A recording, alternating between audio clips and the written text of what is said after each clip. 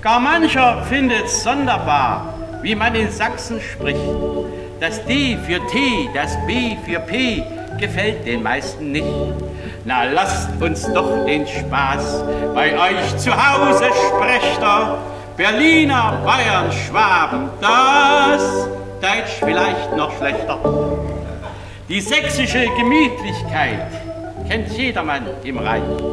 Der Sachse schimpft nicht leicht auf los und bleibt sich egal gleich. Doch wenn ihr ihn reizt und denkt, dass nie die Wut ihn prickelt, da seid ihr aber schief, bedeutend schief gewickelt.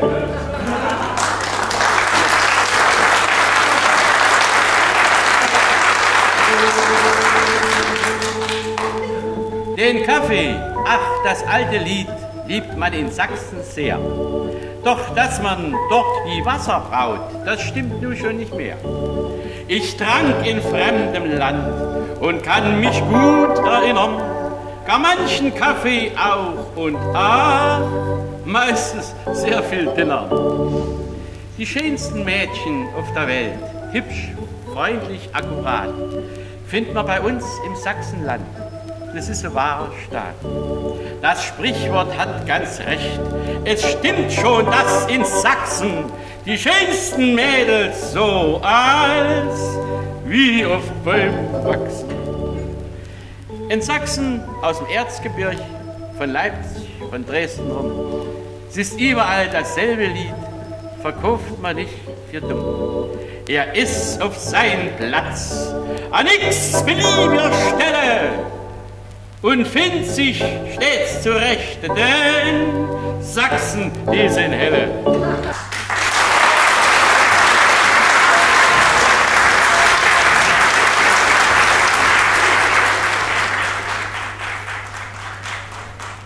Kennst du den? Nee, Den kennst du nicht? nee, Das ist so ein kleiner, dicker. nee, Natürlich kennst du den. nee. Der hat sich doch jetzt erst in eine Kneipe gekauft. Na, gucke mal an. Den kennst du nicht? Na, warte mal, es ist mir bald wieso. Wohnte der nicht früher in der Kohlgartenstraße? Den meine ich. Das ist so ein kleiner Dicker. Das ist er. Ja. Na, was ist denn mit denen? Na hey, der kriegt vielleicht immer Grenze. Warum denn? Ist denn der tot? Ach, oh, du Rinfi, der ist doch nicht tot. Na, warum kriegt denn der nachher Grenze? Na, weißt es denn nicht? Der ist doch in Schützenverein, in Turnverein, in der Konkordia, in der Freiwilligen Feuerwehr. Und jetzt ist er auch noch im Gastwirtsverein. Na, was denn nicht sagt? Na, aber der kriegt vielleicht mal Grenze. Ach, du meinst wohl, wenn er stirbt? Na, wenn denn sonst? Na, da kann der aber lachen.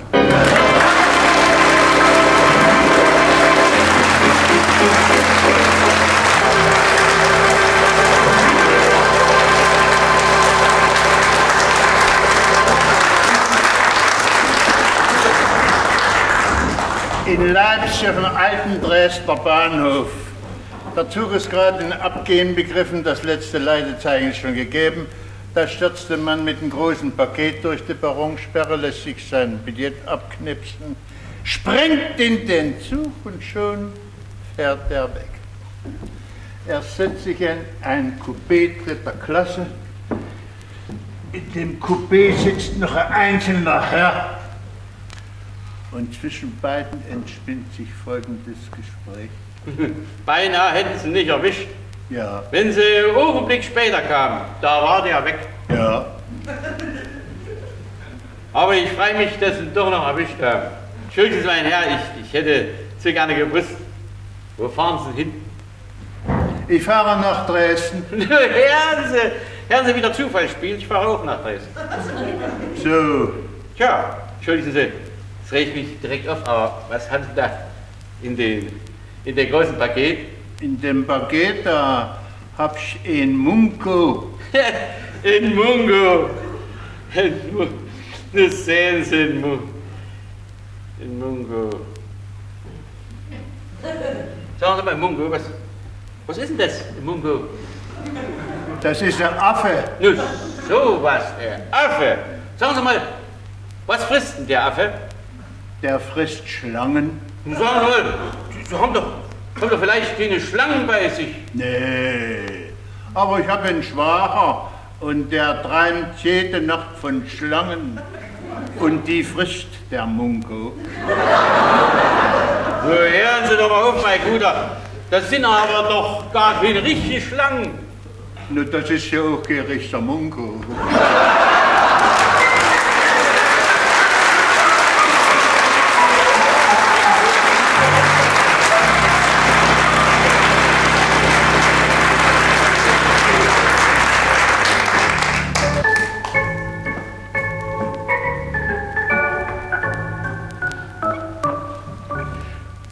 Dresdner Vogelwiese lebt sich's wie im Paradies, es ist eine wahre Götterlust.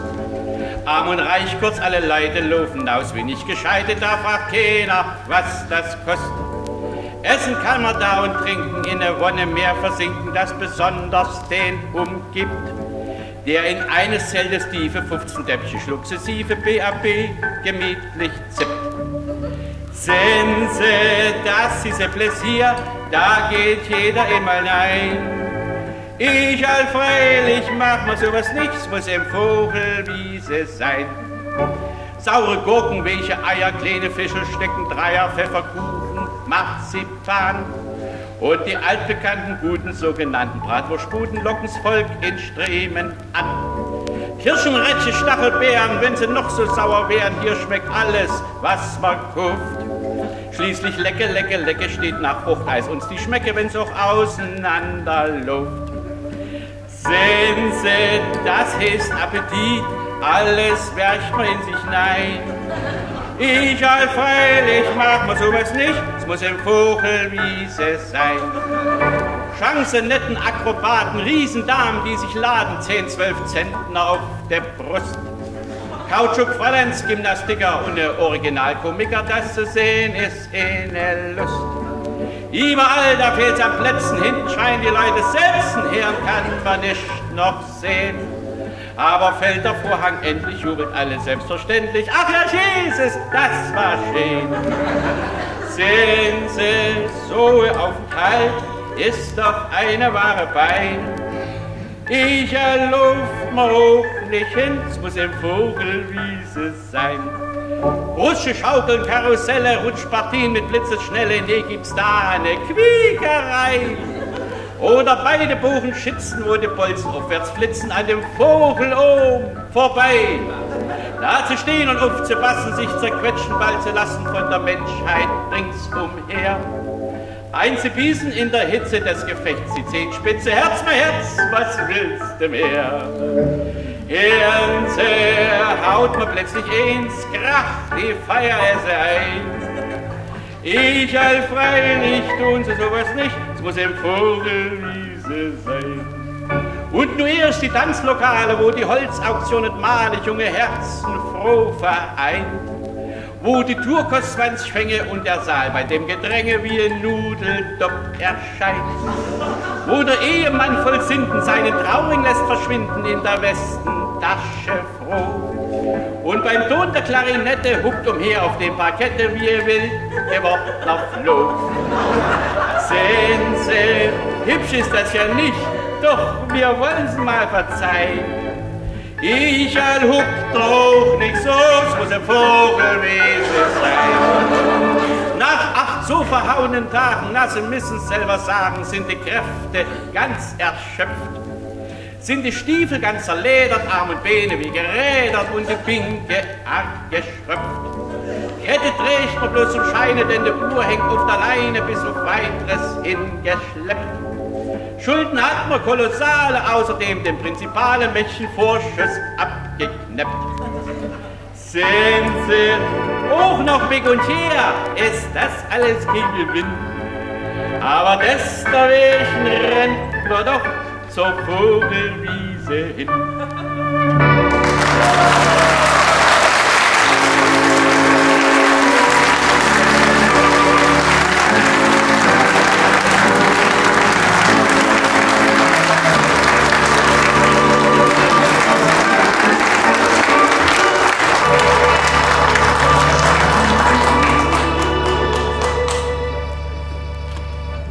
Die meisten Menschen sind abergläubisch. Wir Sachsen sind auch. Und der Freitag gilt bei uns als Unglückstag.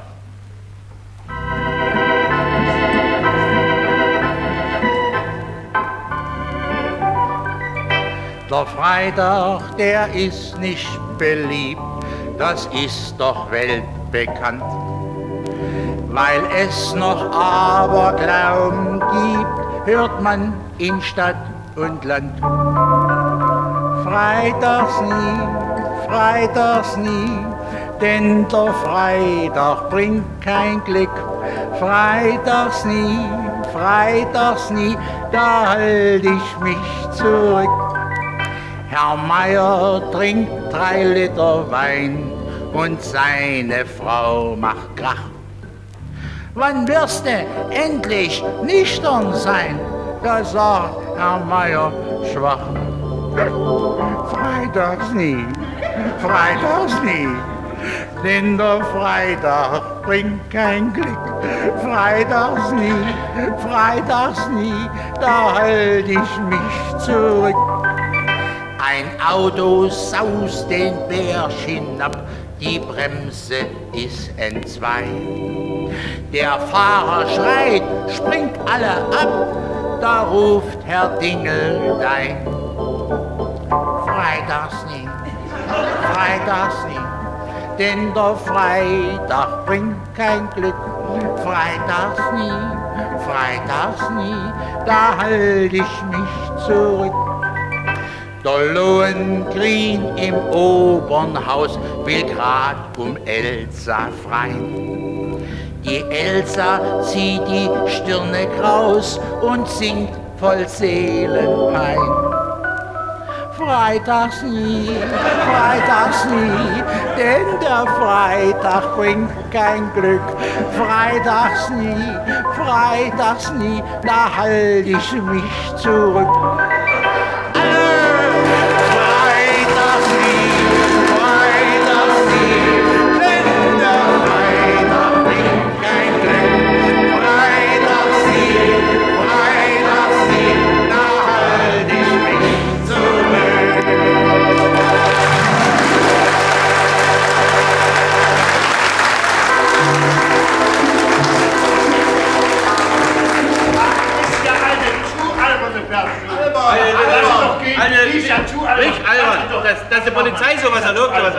Die sagen eh gar zu mir, ich bin eine alberne Person.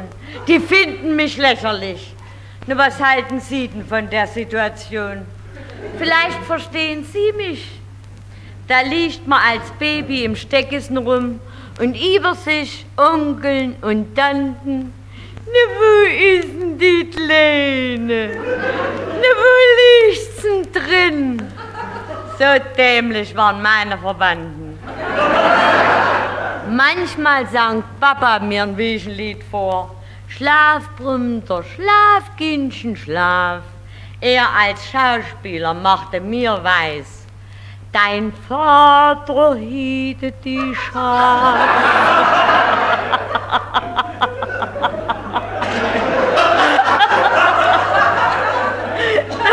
da muss ich lachen. Ganz einfach lachen. Das lacht von selbst in mir, das kitzelt so da drin. Sogar als Baby, ich denn machen?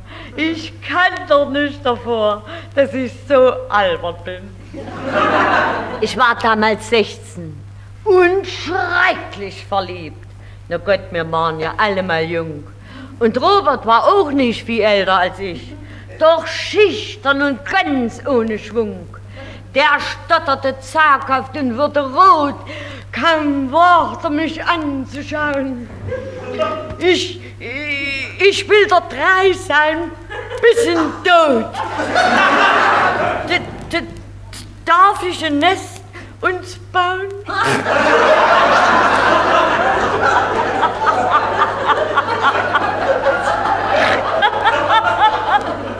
da muss ich lachen.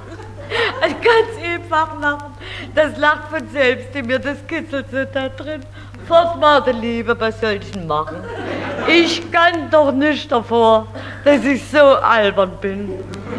Den Eltern lag ich täglich im Ohr. mich zog's zur ernsten Muse. In Leipzig, da sprach ich das Gretchen vor. Ich fühlte mich schon wie die Duse. Komm, komm, schon weicht die tiefe Nacht, fleht Faust. Ich rief bedrängt, meine Mutter habe ich umgebracht, mein Kind habe ich ertränkt.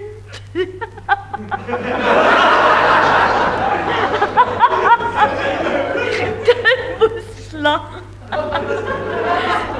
Ganz einfach lachen, das lacht von selbst in mir, das kitzelt so da drin. Man nahm mich komisch, was soll ich denn machen? Ich kann doch nicht davor, dass ich so albern bin. So nahm's Leben seinen Lauf. Mein Sohn hat schon eine Braut. Enttäuscht rief er mich neulich an und hat mich anvertraut. Mama, wie ist denn das mit den Frauen? Was hab ich denn falsch gemacht? Ich wollte gern ein Nest ihr bauen. Die hat mich ausgelacht.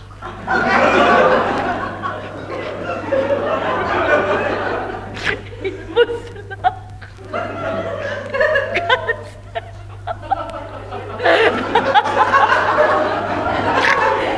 Das lacht von selbst in mir, das kitzelt so da drin.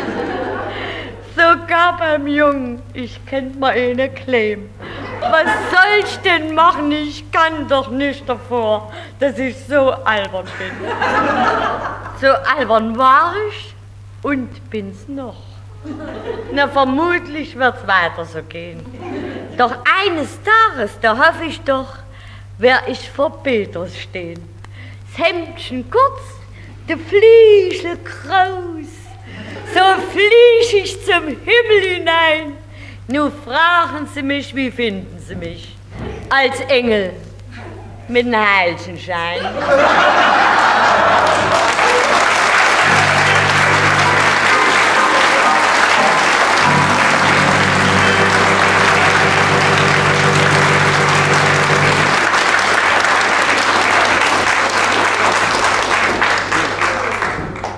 Ich bin der Zigarrenhändler Süßmilch und krebse in meinen Laden rum. Ach, guten Morgen, Herr Schiemchen. Was steht denn zu Diensten? Morgen, ja, Herr Siesmilch, morgen, morgen. Ich hätte gerne eine Zigarre. Haben Sie noch die kleine A15? Ein Stumpen. Nee, nee, also kein Stumpen. Nee, es kann auch sein, dass sie 20 kostet oder 30. Hat der Mädchen die hier zu 40 offerieren? Nee, also, nee, nee, die, die war's nicht, die war's nicht. Ich hatte da so eine bestimmte Marke im Sinne, wissen Sie, spitzes Format und, und sehr handlich, mehr wie eine Corona, nee, nee, also die war's, die war's auf gar keinen Fall. Mehr länglich, aber rund, wissen Sie, aber, also, aber, aber so ähnlich, wissen Sie, so ähnlich, nee, nee, die, nee, die, die war's schon gar nicht, die war's schon gar nicht, die Kiste kenne ich, ja, ja. Nee, also auch nicht, auch nicht, auch nicht. Nee, nicht so hellbraun. Die war mehr ins Dunkle übergehen. Nee, nee, nee, auch nicht, auch nicht, auch nicht. Jetzt hole ich ihm schon die neunte Kiste herbei. Nee, auch nicht. Also Bauchbinde hatte sie nicht. Keine Brasil, nee, nee, wenigstens keine ausgesprochene Brasil. Es war mehr so ein Zwischending zwischen hell und dunkel. Nee, nee, nee, auch nicht, auch nicht, auch Ha nicht. haben Sie denn keine Ahnung, was dran gestanden hat? Natürlich, äh, was war, wie war es denn gleich? Florfina hat dran gestanden. Und eine Krone hat sie gehabt und und rechts und links so schnullerig dran, wissen Sie? Ihnen die 17. Kiste herbei. Jawohl, ja, das ist sie, die meine ich. Wie heißen die? Estremadura. Es, Estram, naja, ja, ja, siehst du, das war sie, das ist sie. Tja, also die will ich unter gar keinen Umständen wieder haben. Denn die schmeckte nach Rosshaare.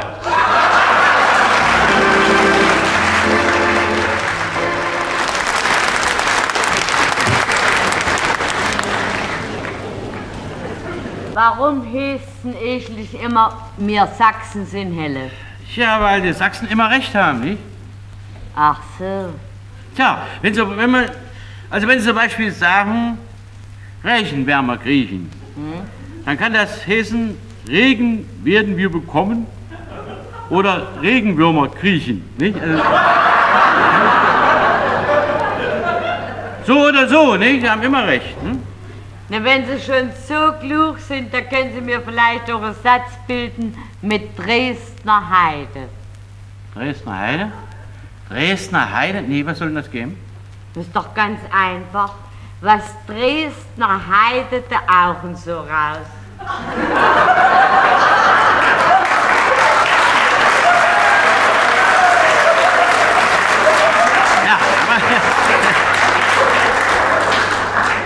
Ich, ich, weiß jetzt, ich weiß jetzt auch eine Frage. ich weiß auch eine Frage. Was ist denn das, das Gegenteil von Parterre? Parterre? Das weiß ich nicht. Nur so ganz einfach. Das Gegenteil von Parterre sind ein paar Dicke. Oh.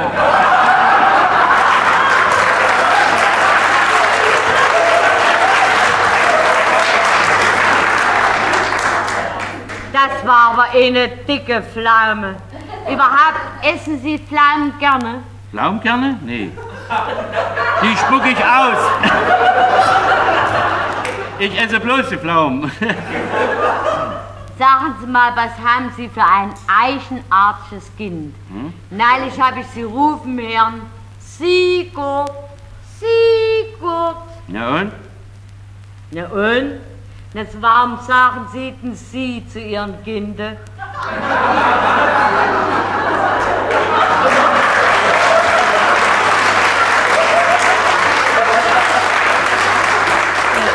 Nun sagen Sie doch mal was ganz anderes. Wie geht's denn Ihren holden Gatten? Ach, es geht schon wieder. Der trinkt jetzt Heilerde. Aha, Heilerde. Das ist doch was für die Gesundheit, was? Ne, freilich. Sowas wie, äh, wie Lehmbrei. Ach du liebe Zeit. Da.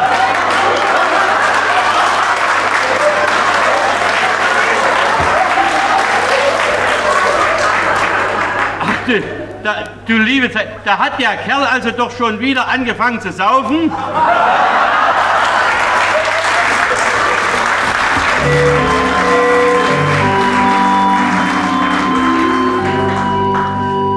Der Festung Königstein muss doch auch ne Kirche sein. Die Kirche ist mit Stroh gedeckt, da haben die Meise reingehängt. Auf der Festung Königstein muss doch auch eine Orgel sein. Der Orgel spielt kein hohes A, das ist eine Ziehharmonika. Auf der Feste Königstein muss der hohe Kantor sein. Am Sonntag ist er Organist, in der Woche fährt er Mist. Auf der Festung Königstein muss doch auch ein Lehrer sein. Der Lehrer, der ist dick und fett und frisst ein Kindersfrühstück weg. Auf der Festung Königstein müssen doch auch Mädchen sein. Hier kein Zeppel, da kein Zeppel, macht zusammen ein Bubikäppel. Auf der Festung Königstein muss doch auch ein Gastwirt sein. Der Gastwirt dieser Blättermisch, der gießt das Bier gleich unterm Tisch. Auf der Festung Königstein muss doch auch ein Schneider sein. Hier ein Flecke, da ein Flecke, macht zusammen ein Babyrecke. Auf der Feste Königstein muss doch auch ein Tischler sein. Hier eine Brette, da eine Brette, macht zusammen eine Abtrittsdecke.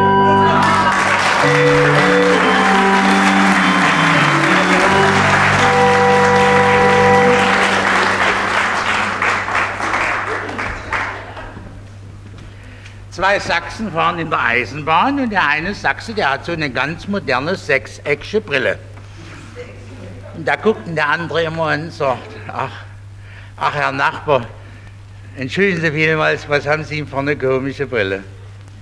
Sagt er, das sehen Sie doch, hm? das ist eine moderne sechseckige. Ah.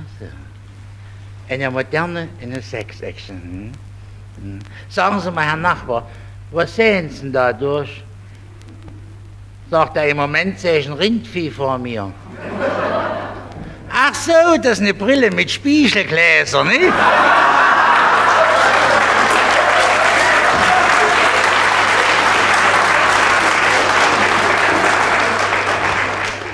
Ein Sachse kommt nach Berlin und sagt, bitte schön, Herr Wachmeister, ich möchte gerne ins Hotel zur Kleinbrust. Sagt der Wach, wo wollen Sie hin? Ins Hotel zur Kleinbrust. Hä? das haben wir nicht. Wir haben Königshof, Edenhotel, Adlon, Bristol. Bristol. Sehen Sie, da wollte ich hin.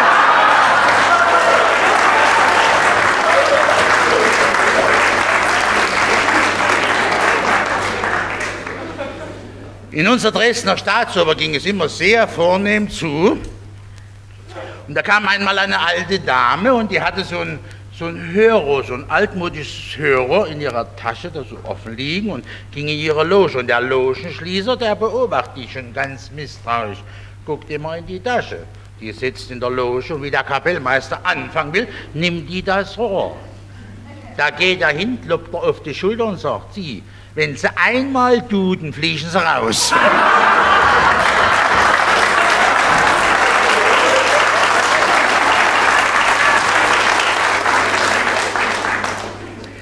Ein Leipziger kommt nach Dresden, denkt, das ist verpippt, jetzt bist du nur einmal in Dresden, musst doch mal in die berühmte Staatsoper gehen. Kauft sich einen Parkettplatz für 5 Mark und da geben sie Dannhäuser. Da kommt doch im ersten Akt der Pilscherchor. Sagt er zu seinem Nachbar, ach, entschuldigen Sie vielmals, was sind denn das für welche da oben? Ach, sagt er, das ist der Pilscherchor. Ach, der Pilscherchor, Dankeschön. Sie, sagen Sie mal, was machen die in eigentlich dort oben? Ja, sagt er, ja, die, die laufen zu Fuß nach Rom. Ach so, zu Fuß nach Rom, Dankeschön, danke. Sie, ich muss Sie noch einmal belästigen. Warum heißt denn das nun Pilscherchor? Ja, sagt er, die laufen zu Fuß nach Rom, weil es Pilscher ist wie mit der Eisenbahn.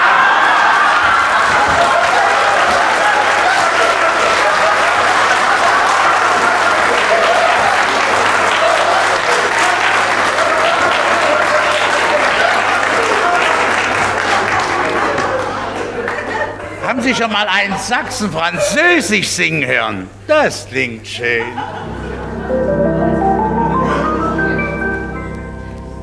Parlez-moi d'amour. Redites-moi des choses tendres.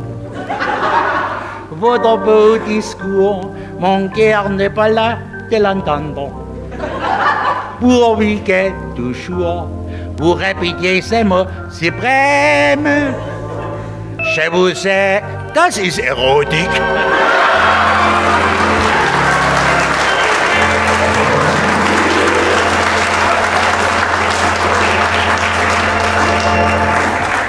Ist denn Ihre Miete immer noch bei Niedenfürst in Stellung? Meine Mieze. Bei Niedenfürst in Stellung. Wo denken Sie hin? Schon lange nicht mehr. Ich dachte, Nee, mein Mann will das nicht. Lieber soll sie zu Hause bleiben. Die paar Groschen, die machen's grad auch nicht fett. na ähm, na ähm, das schleift sie sich ja an den Stiefelsohlen ab. Na. Eine Mark pro Stunde, na, das lohnt sich doch, weiß Gott nicht. Für eine Mark pro Stunde einen anderen Leiden Dreck hinterher reimen. Das- Das hat doch unsere Tochter nicht nötig. Für eine Mark pro Stunde sich abrockern. Und nachher zu Weihnachten so ein kleines Tellerchen mit Pfefferkuchen.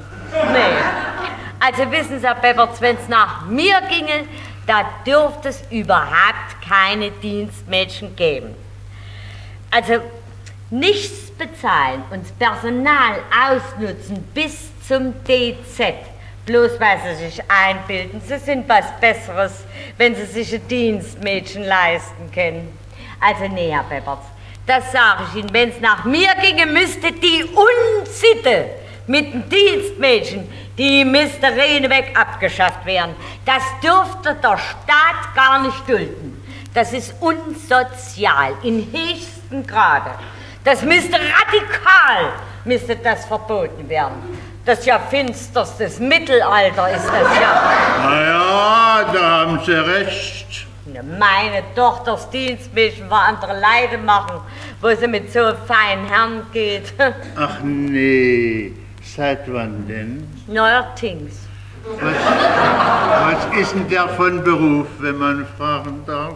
Bei der Teutonia. Im Büro. Er sieht erst ganz wild auf, unsere Miete. Da werden Sie wohl bald heiraten. Es wird nicht lange dauern. Nächstes Monat oder übernächstes. Haben Sie denn schon die Ausstattung beisammen? Na, so ziemlich, ja. Die Wäsche, das Küchenbuffet, das Porzellan, die Waschmaschine, eine Fernsehtruhe. Na, na, na, wie steht's denn mit der Wohnung? Ach, die haben sie auch schon. Sie suchen bloß noch ein Dienstmädchen.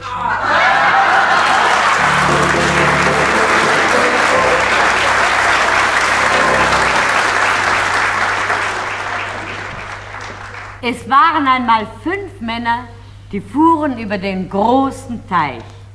Der Schmitz vom Rhein, der Orje aus Berlin, Hein Petersen von der Vodakant, der Seddelmeier aus München und E. Sachse war natürlich auch dabei. Schmitz aus Nippes reist nach Amerika. Eingehüllt in sein Labardönche steht er am Achterdeck und zulpt an der kurzen Pfeife. Da erfolgt eine gewaltige Explosion. Das Schiff bricht mitten durch und sackt weg. Schmitz lächelt. Wenn ich das gewusst hätte, hätte ich mal keine reine Krare angetan.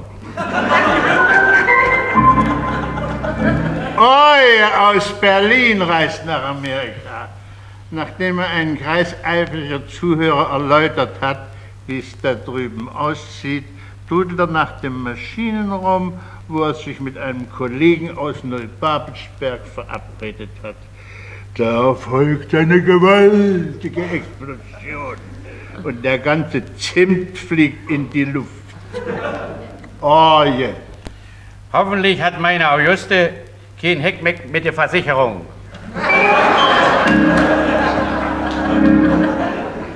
Petersen reist nach Amerika. Er spaziert das Promenadendeck längs, kaut Prüm, spuckt ab und zu einen kurzen Bogen. Da folgt eine gewaltige Explosion. Das Schiff geht unter mit Hühn und Perdün. Seufzt Hein. Schade, ne? Gerade heute, wo mir der Stuart Snuten um Poten versprochen hat.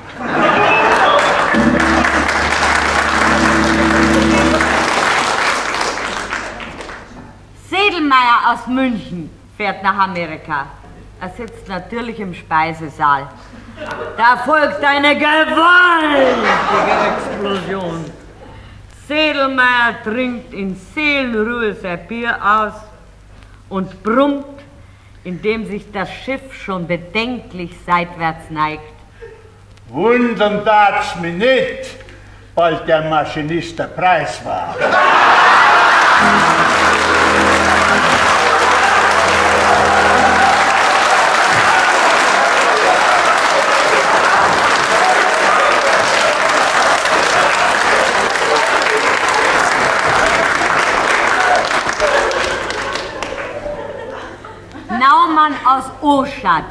Reist nach Amerika. Er steht auf der Kommandobrücke neben dem verzweifelten Kapitän und will alles ganz genau wissen. Da folgt eine gewaltige Explosion. Und das Schiff geht unter. Während ihn die Fluten umspülen, sagt Naumann elegisch, Meins welchen. Eigentlich wollte ich mich ja verbrennen lassen.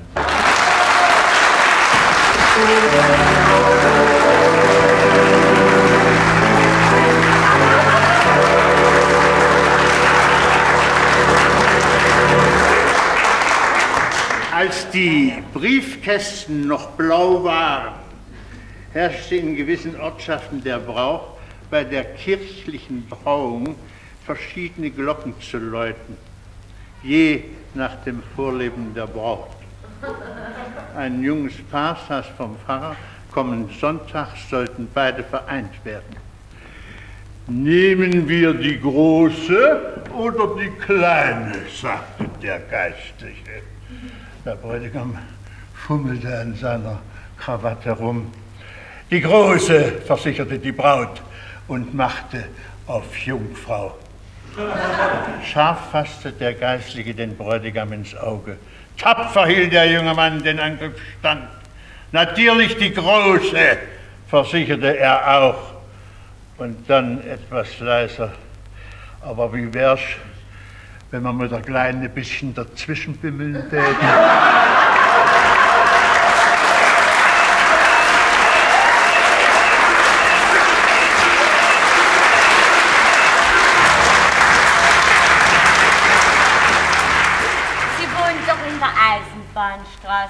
Eisenbahnstraße. Warum? Ach Gottchen, ich frage eben bloß. Ja, wir wohnen in der Eisenbahnstraße. Warum? Wo wohnen Sie da? In der 88. Sie wohnen in der 88? Na, dann müssen Sie es doch wissen. Das ist doch die Ecke, wo Brett Schneider wohnt. Warum? Na, das ist doch die Ecke. Ja, warum? Na, hören Sie, der arme Mann, der kann Ihnen aber leid tun. Wieso? Wieso denn leid tun? Na, wissen Sie es denn nicht? Na, was ist denn los bei Brett Schneiders? Na, hören Sie, das sind doch die Jalousien runter. Na und? Na, wissen Sie es denn nicht? Ach Gottchen, das sind eben die modernen Einheitstage, ne? Er war doch Offizier und dann haben die sich doch schon immer nicht so richtig vertragen, ne? Und dann soll er ja auch eine Freundin gehabt haben, eine Verkäuferin von Eulitz. Und da hat die Brettschneidersche ihre Sachen gepackt und ist fort bei Nacht und Nebel mit der ganz jungen Gerle. Wer? Der Brettschneidern. Na, glauben Sie es denn nicht? Ich sage Ihnen, die ist fort. Die hat ihren Mann verlassen bei Nacht und Nebel. Sie hat den bloßen alten Schlafrock zu Hause gelassen und eine Likör serviert. Die Brettschneidern? Der Brettschneider, wenn ich Ihnen sage, die ist ihr Mann durch den Lappen gegangen. Nicht, dass Sie nehmen die modernen Einheiten da, ne? Aber keine Spur. Ich habe doch heute Vormittag noch mit ihr gesprochen. Die wollte meine Fruchtpresse von mir haben. Der Brettschneider? Ja, die Brettschneidern. Warum soll denn die ihren Mann durch den Lappen gehen? Die sind doch ein Herz und eine Seele. Na, warum handeln die dann die Jalousien unter? Weil sie die Gardinen waschen. Sehen Sie, ich hab mir doch gleich gedacht, dass da was nicht in Ordnung ist.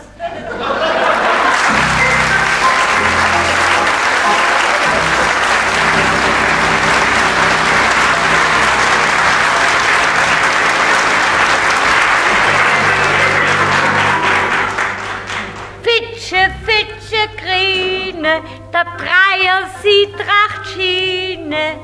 Ich wünsche euch ein langes Leben, der Herr soll euch sein Segen geben. Dreimal, dreimal um das Haus, gib mir ein Stückchen Kuchen raus. Ist der Kuchen nicht geraten, gib mir ein Stückchen Schweinebraten. Ist der Braten auch verbrannt, gib mir ein Stückchen Kuchen ran. Ich bin der kleine König, gebt mir nicht zu wenig. Lasst mich nicht zu lange stehen, muss ein Heißchen weitergehen.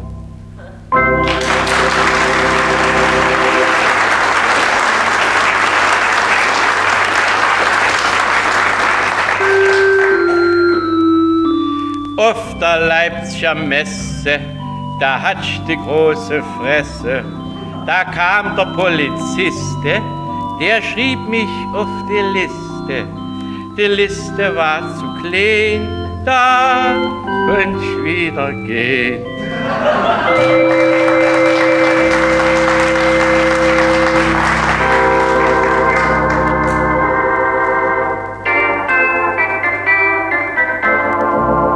Wir sind die Fußballspieler von Dresden an der Elb.